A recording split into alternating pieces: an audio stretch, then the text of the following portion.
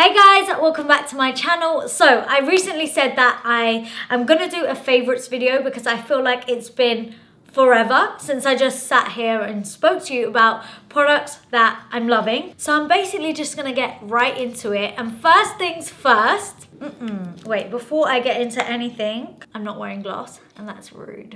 I feel like Barbie today. Okay, now I've got some gloss on. Let's get straight into it. And first up, I have to tell you about my What Would the Aunties Say merch. Oh my God, I cannot believe it.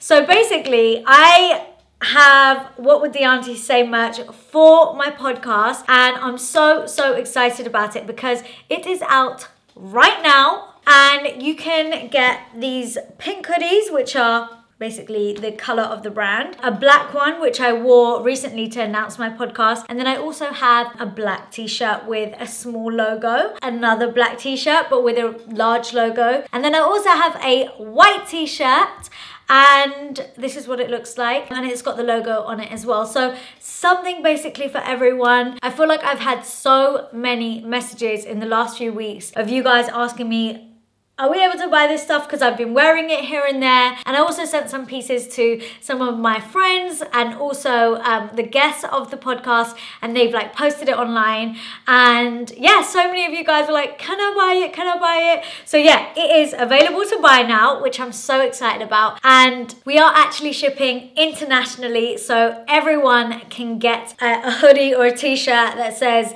what would the auntie say on it? And I feel like I feel like I just want everyone to wear it and then the aunties be like, what? And you know what? I actually call the hoodies like my hiding hoodie because it's like, you know when you need to hide from the aunties if you're out where you shouldn't be or even you need to cover the smell of durka from your hair hoodies are the best thing i spoke about that ages ago on my stories that like that's the best way to to not get the smell in your hair but anyway yeah i'm really really excited about that if you haven't had the podcast yet please go and listen to it last week it actually made it to best podcasts of the week playlist on Spotify, which is just incredible. I was never expecting that. So it's so, so, so lovely to hear that you guys are really enjoying the podcast. And so we're celebrating by having some merch and I'm gonna leave all the information down below in the description box so make sure you check that out. There is a website to buy everything from and yeah, all the information is gonna be there so please just go ahead, check it out, buy it, buy it for somebody else as well. They make super cute gifts. Anyway, I'll stop rambling. I'm just obviously mega excited and I think it's so cute and they're also really, really comfy and they come in a range of sizes and they're also unisex. Okay, that's enough now.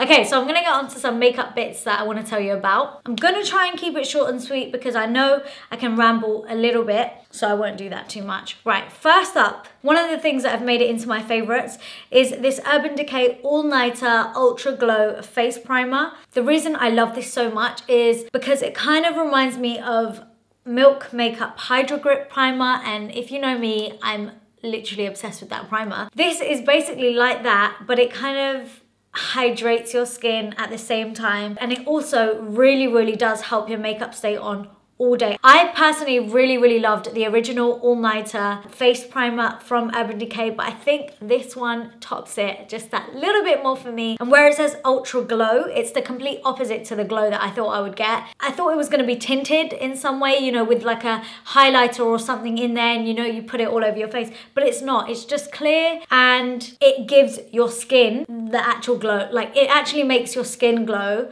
um, and then when you put your makeup on and your foundation and it settles in, it all just looks a bit more radiant rather than like highlightery. So yeah, completely obsessed with this. I'm gonna keep on the topic of face products for now and I've got two foundations to mention both of which I have full reviews on. One of them is the Huda Beauty, what is it? A faux filter skin finish stick foundation. In the video, I'm using Baklava, but Huda's actually changed her shade range. Basically, she's changed the, the shades and the names.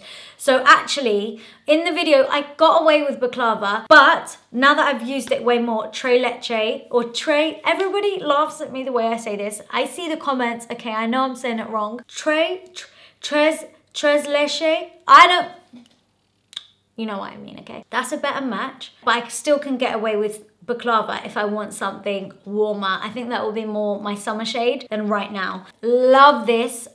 I'll leave a link so you can find out more about that in that video. But it is honestly like everything it says it is. And then the other foundation that I'm just blown away by is this NARS Soft Matte Complete Foundation, which is new. I also have a full review and like a wear test using this foundation. I'm currently wearing it right now. I use the shade Valencia and it is literally what is that is that a spot oh okay yeah um it's a perfect match i really love it i've actually only got one really light layer on my face today and it's worked like wonders. I feel like this is an actual filter in a bottle and it really is like a nice true matte but without being drying. So, I mean, there's so many reasons why I love this. So you definitely need to try this.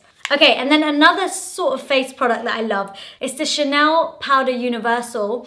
And this comes in a few shades and I use the shade 20. I know a lot of people use the shade 30 if you're around my skin tone, but I have that one and I found that to be way too warm, especially like where you want to set your under eyes and places like that. It didn't brighten and I want brightening. I found that shade 20 actually worked so much better. Aside from the shade, this powder is like, it honestly looks flawless. Like it genuinely looks so flawless. It mattifies, but in a nice, like radiant way. And I know that's like two complete opposite things, but that's exactly what it does. It also looks super smooth, again, giving you that filter-like effect on your face and almost like a blurred effect. So I really love this and it helps your oils to stay at bay all day keeps your makeup on all day. It's just like there are so many amazing things about this powder and there better be because it is so expensive. So yeah, I'm, I'm just glad that it like lives up to its price point. I mean, I wish it was cheaper, but it's Chanel, so.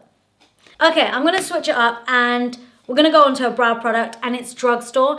And this is basically all I use. And it's the NYX Micro Brow Pencil. I basically use this every day. It's my go-to. It's basically a dupe for the Anastasia Beverly Hills Brow Wiz. And I have this in the shade Espresso. It literally is the most perfect natural shade. It has a nice micro tip right here. It's also retractable, really great to travel with. You don't need to sharpen it. And I just, I love it. I absolutely love it. It's so natural on me and that's what I, yeah, I prefer. So if you're looking for a cheaper alternative to the ABH Brow Wiz, then definitely check this out. Okay, then let's jump back into some face products. I only recently got my hands on this, and it's the Tom Ford Glow Bronzer Powder. And this is what it looks like. And I thought it would be really light in the pan, but it actually is the perfect shade for me and it goes on really well.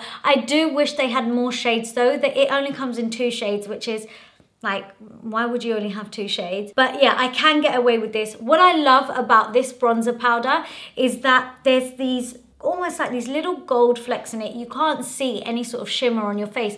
But when you put it on, it looks so smooth and it, it gives you, it's not just bronzer, it's like it gives you warm radiance. It makes your skin look healthier, not just by the warmth, but actually by the finish of the bronzer. So it's actually very beautiful. It kind of reminds me of MAC mineralized skin finish, but like even better. Like and it has to be, again, it's expensive.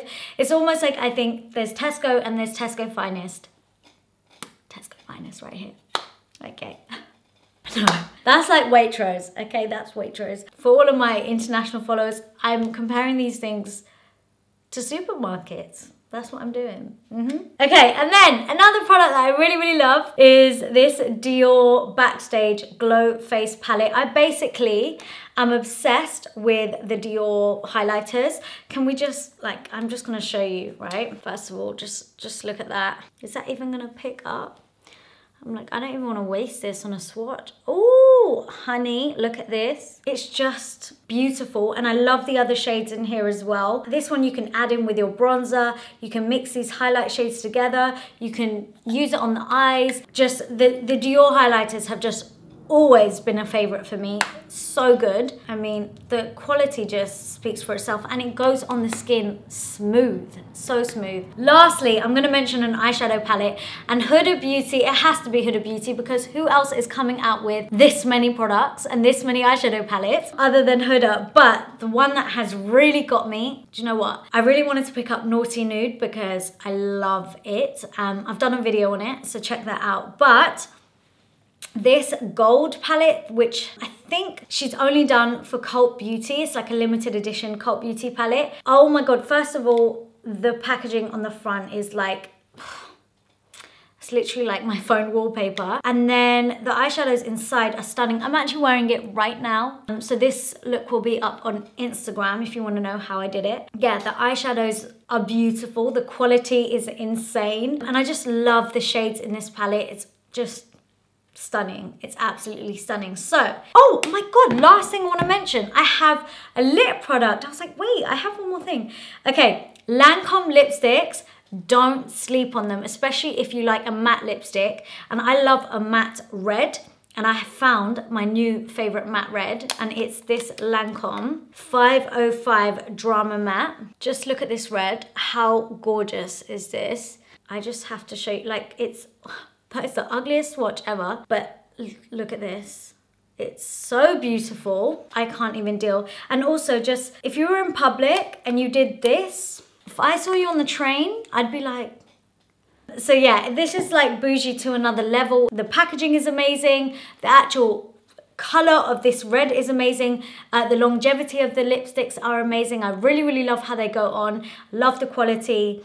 And I can't believe I, I've been sleeping on Lancome lipsticks. I'm just like mind blown. I've tried to keep it really short and sweet. I didn't want to ramble too much, but those are the products that I've been loving recently. I would love to know if you've discovered anything new recently. I feel like I use a lot of the same things sometimes. So it's really, really good to know like what you guys are loving, what you're using, and you can help me discover new products. And yeah, and please don't forget to check out the podcast and of course my What Would the Auntie Say merch as well. Go get your hands on it, go buy it for somebody as well. And yeah, I'd really, really appreciate it. And I also just want to say thank you from the bottom of my heart. Thank you so much for all the support I've received so far. I'm just so happy that people get it. Like you just get it. You know what I'm talking about. You understand. I don't feel so alone in some of my thoughts anymore because I feel like I'm talking to people that have the same thoughts, which is why I even wanted to do the podcast in the first place. And now we can all just be rocking this merch together as well. Thank you so, so, so much for watching this video,